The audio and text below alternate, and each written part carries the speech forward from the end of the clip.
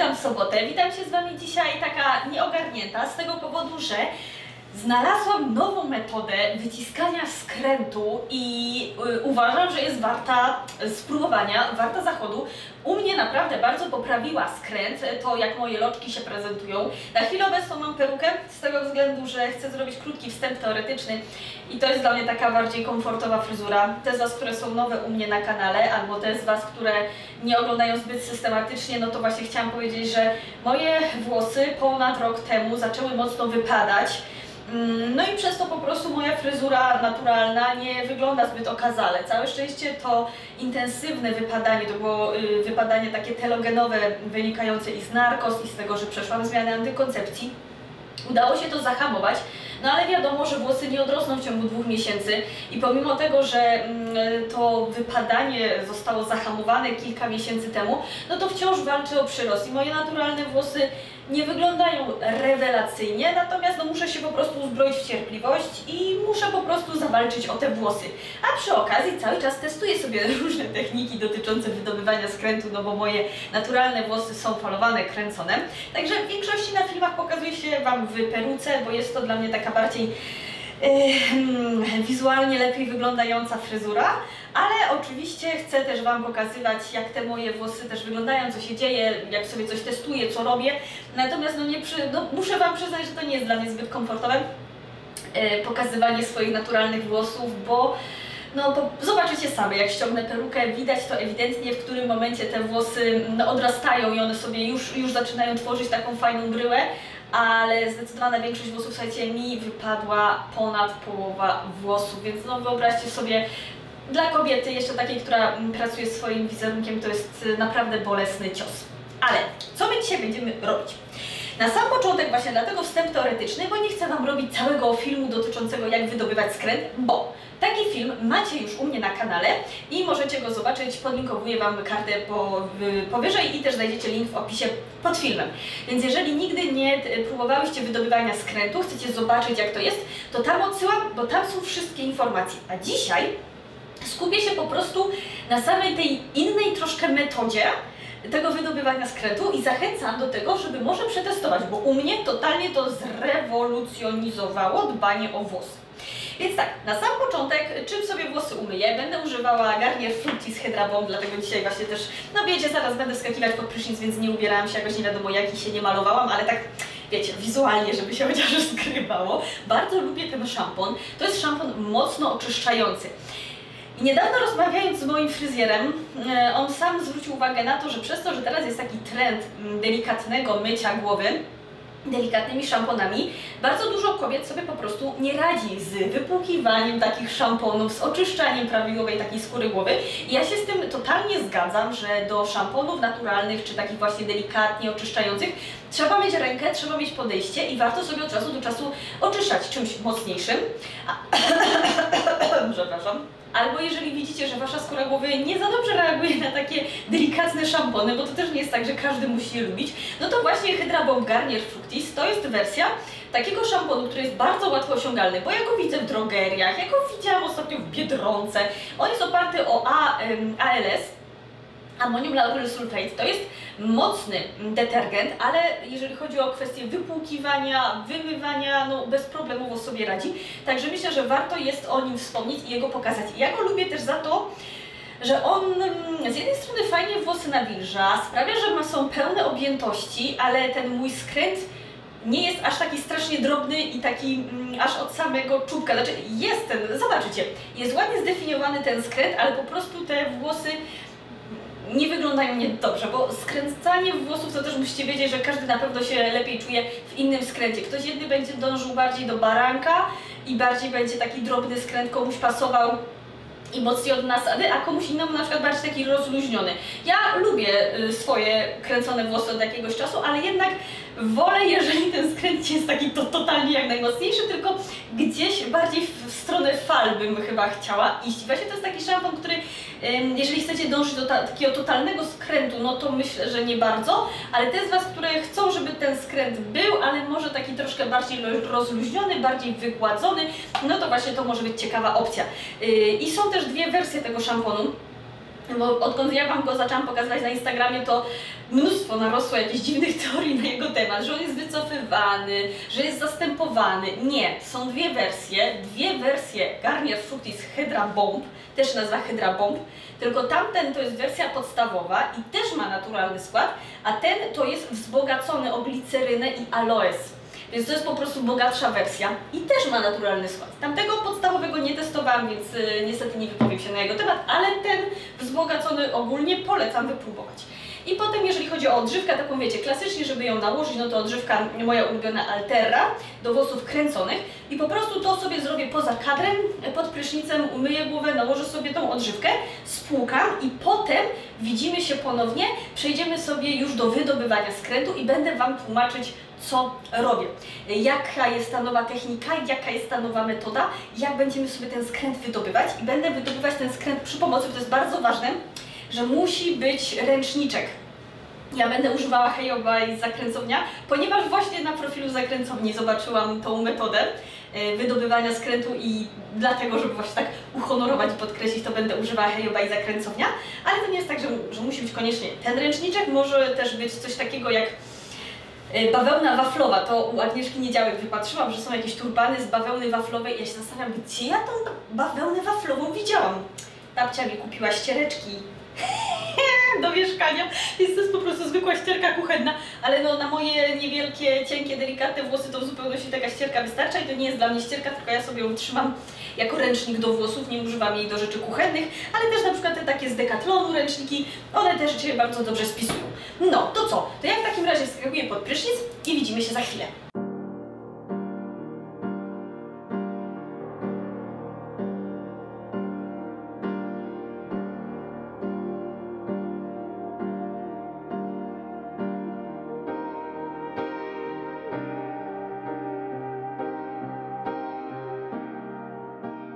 Okej, moje drogie, więc tak Wam wspominałam, ja sobie głowę umyłam, nałożyłam odżywkę, spłukałam, odżywkę wgniatałam, wszystko to, co mówiłam Wam w tym wcześniejszym filmie, to właśnie te, z tych technik korzystałam.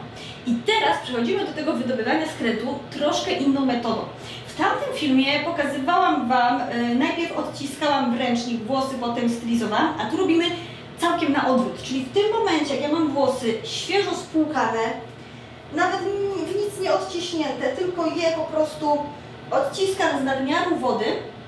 I teraz dopiero, jak one są takie cieknące, dlatego nagrywam spod prysznica, bo y, żeby nie nalać w łazience wody, to teraz nakładam aktywator skrętu Altera i też żel y, do stylizacji włosów proteinowy Hair Retail Cosmetics. Więc najpierw Altera jako aktywacja, na te takie mokre, może nawet trochę ociekające włosy. Czekajcie, muszę się trochę prawić. Ach. Damy radę, nagramy to. I obracać sobie głowę, na przykład o tak na bok ja tu po prostu w ręce czuję, że tu nie ma tego aktywatora, no to sobie go troszeczkę dokładam.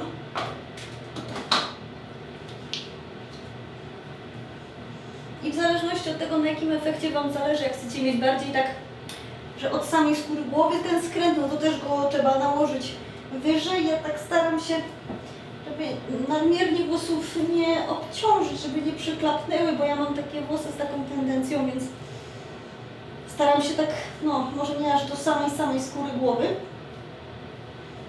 Ok, czuję, że ten aktywator jest równomiernie rozłożony. Słyszycie ten dźwięk? To znaczy, że, że te włosy właśnie mają odpowiednią ilość wody, no dzięki temu, że, że nie zostały odciśnięte sobie. Teraz dopiero żel. Powtarzamy to samo.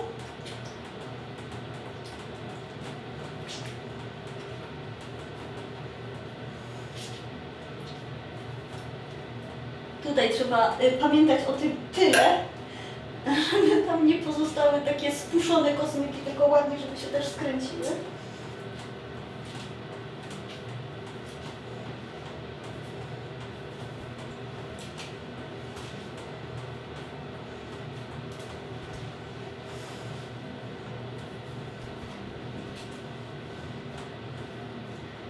Okej, poprawię się i zaraz wrócę.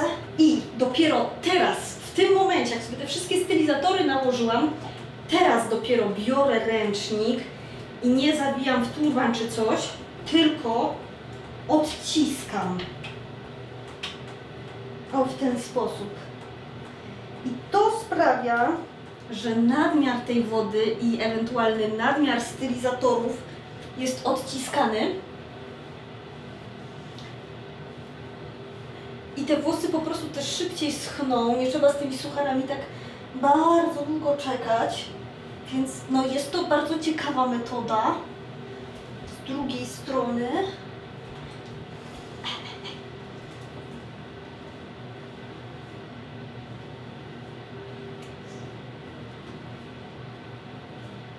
ten tył też, żeby sobie odcisnąć.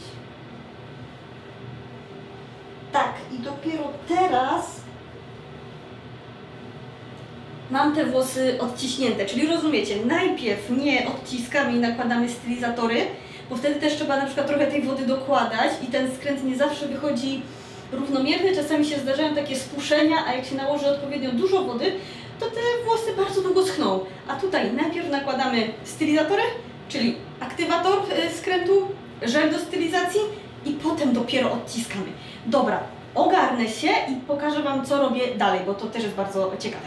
I teraz, moje drogie, będę nakładać serum na końcówki i wróciłam sobie do serum Joanna Vegan, bo to jest serum, które świetnie zabezpiecza końcówki, jest oparte o takie e, alkany z oleju kokosowego, czyli takie substancje, które nam działają jako mm, analog silikonu, emolienty, więc zabezpieczają końcówki, sprawiają, że są bardziej nabłyszczone, lepiej chronione przed wpływem czynników zewnętrznych i przed ocieraniem, a jednocześnie nie jest to nic tłustego i olejowego, więc przy takich włosach jak moje, które mają tendencję do łatwego obciążania, no to to jest świetna opcja. I zauważyłam, że ten kosmetyk sprawia, nie wiem jak, ale ten skręt jest ładniej zachowany, i tego sobie będę wykorzystywać i co więcej, do odciskania i do reanimacji skrętu.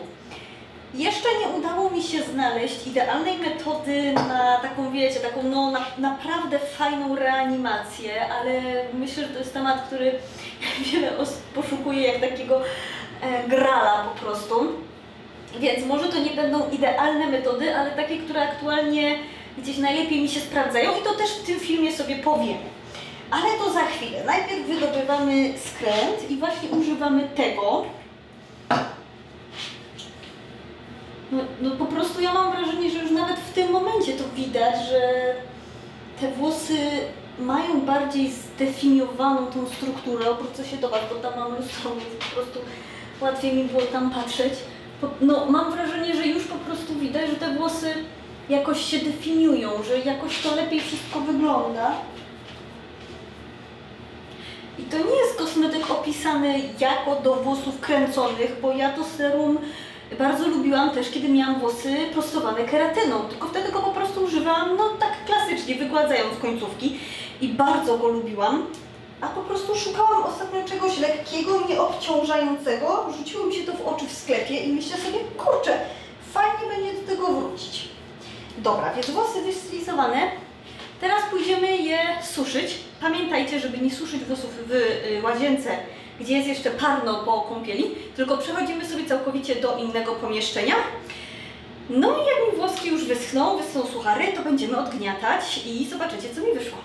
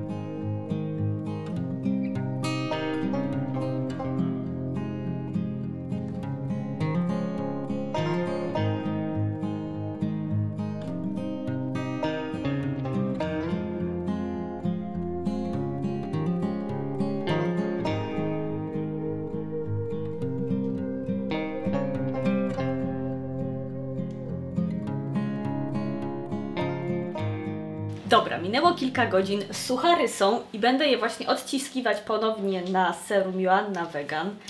Mimi, jak widać, jest bardzo pomocnym kotkiem. Niewielka ilość, bo nie chcę tych włosów sobie obciążyć, chociaż tak to serum jest, jak już Wam wspominałam wcześniej, takie mm, bardzo bezpieczne przy włosach, które mają tendencję do przyklapu. I z jego pomocą ja sobie włosy odciskam, wyciskam skręt. I mam wrażenie, że ono też troszkę sprawia, że te loki lepiej wyglądają.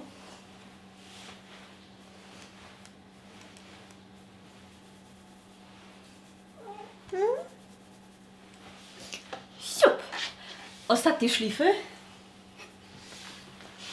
Tak jak wspominałam na samym początku, moje włosy może nie są idealnym przykładem tego, żeby teraz się z nimi rozpływać i tak dalej. Widać po tych końcach te przerzedzenia, ale tu, gdzie są odrośnięte, gdzie są te nietknięte rozjaśniaczem, tutaj właśnie widać, że zyskują te włosy tą objętość i tą bryłę, więc jestem taka cała pełna nadziei, że będzie, będzie dobrze, tylko muszę się jeszcze uzbroić w cierpliwość. No ale ogólnie jak sobie tak patrzę na te moje włosy, to zwłaszcza tutaj widać, że ten skręt się całkiem fajnie definiuje. No i wygląda to naprawdę dobrze, przynajmniej jak na moje włosy, które mają tendencję do takiego czegoś, że one są niekręcone, niefalowane. To są włosy takie y, whirly to się nazywa, czyli gdzie niegdzie się bardziej falują, gdzie niegdzie się bardziej kręcą, ale one nie są wszystkie ładnie zdefiniowane, więc moje włosy wyglądają jakby we mnie piorun strzelił. No i to jest y, maks, które mogę z nich wyciągnąć. Ok, i co? Więc teraz już jest tak naprawdę wieczór. Mm, ponieważ ja nagrywałam dzisiaj ten dzień rano, czyli jest późno po południu, trochę jest zima. Ja nagrywałam sobie rano ten film, więc odgniotłam sobie skręt jeszcze tak do mm, wieczorka, późna sobie tak pochodzę, ale czasami zdarza mi się, że jeżeli wieczorem myję głowę i wieczorem y, wyciskam skręt, to nie odgniatam sucharów, tylko idę po prostu spać y, z tymi sucharami. I one czasami w nocy się zdarzy, że gdzie niegdzie się odgniotą, ale reszta nie. I dopiero rankiem, jak je odgniatam, to zdarza się, że ta fryzura wtedy wygląda bardzo obiecująco. I do tego zachęcam, żeby sobie spróbować. A tymczasem y, widzimy się za chwilkę na drugi dzień po nocy i pokażę Wam, jak sobie czasami pomagam z tą reanimacją skrętu. Także widzimy się jutro, czyli już za chwilę. I widzimy się w kolejnym dniu. Tak moje włosy wyglądają po nocy, przy czym celowo, jeżeli chcę reaktywować skręt, no to też poprzedniego dnia nie narażam tych włosów na zbyt duży ucisk, więc staram się nie nosić gumek, klamerek, y, śpię w rozpuszczonych włosach, ale na jedwabnej poduszce. I teraz tak, zanim przejdziemy sobie do próby reanimacji tego, co jest na głowie, chciałam Wam powiedzieć o dwóch metodach. Kiedyś, kiedy jeszcze nie miałam e, tego problemu z tym, że mi tych włosów bardzo dużo wypadło i moje włosy były troszkę gęstsze, to wtedy sprawdzała mi się taka metoda, że zwilżałam włosy mocno wodą i następnie na dłoni rozrabiałam troszeczkę Heritage Carl Melon, tylko tego humektantowego, bo jak wczoraj Wam pokazywałam ten proteinowy albo innych firm, to one się nie sprawdzały do reanimacji, tylko właśnie konkretnie ten. Jego sobie rozrabiałam z wodą na dłoni i tym odciskałam zwilżałam zwilżone włosy. I to mi bardzo ładnie sprawiało, że wracał skręt, przy czym troszeczkę włosy obciążał, więc jak nie miałam problemów z utratą objętości włosów, było w miarę dużo, to wtedy wyglądało to fajnie. Natomiast w momencie, jak te włosy zaczęły mi wypadać, ta metoda już nie do końca się sprawdza, bo ona mocno wygładza te końcówki, mm, dociąża i po prostu trochę odejmuje objętości. Więc te z Was, które nie mają problemów z bardzo cienkimi, e, rzadkimi włosami, to myślę, że mogą próbować. Te z Was, które mają podobne włosy do moich, czyli no przerzedzone są zwłaszcza te końce, to robię to tak, że biorę to serum, które Wam pokazywałam, że bardzo często teraz po nie sięgam i wodę termalną. Przerzucę sobie włosy do przodu. Tylko tą wodą termalną, jeżeli psikam, to parę razy, wiecie, y, od dołu było mi łatwiej i wtedy nie wiem, co do końca się dzieje. Czy to ma jakiś że rozchyla się łuska włosa, kiedy tak mm, pod włos po prostu psika się tą wodą, nie wiem, ale bardzo często wtedy wychodzi spuszczona fryzura. Więc po prostu od góry i muszę mm, zwilżyć sobie te włosy tą wodą termalną.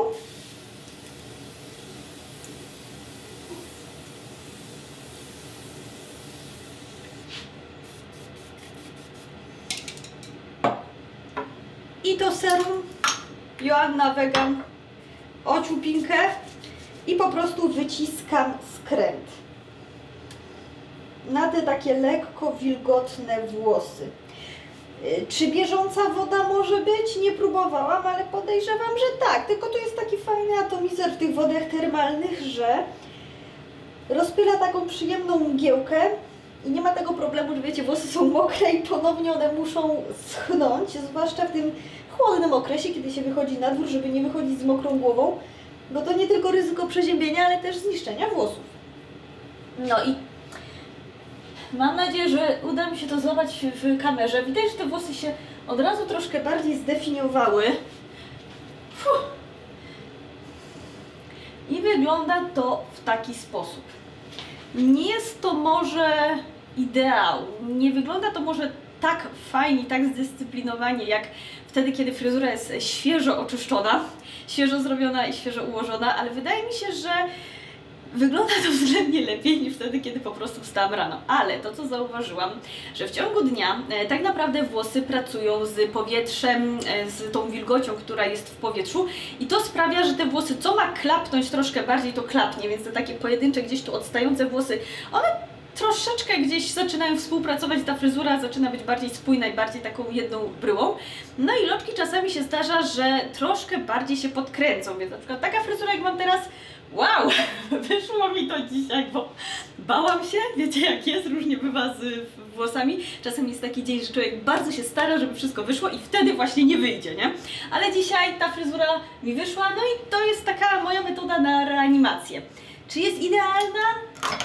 No nie jest, ale sądzę, że warto próbować, warto testować, może akurat u Was się sprawdzi. A jeżeli Wy macie jakieś swoje patenty jeszcze na, czy to wydobywanie skrętu, jakaś jeszcze inna metoda, czy może na reaktywację tego skrętu, dawajcie koniecznie znać, bo ja bardzo chętnie przetestuję kolejne metody. I cóż, moje drogie, widzimy się niebawem, do zobaczenia, cześć!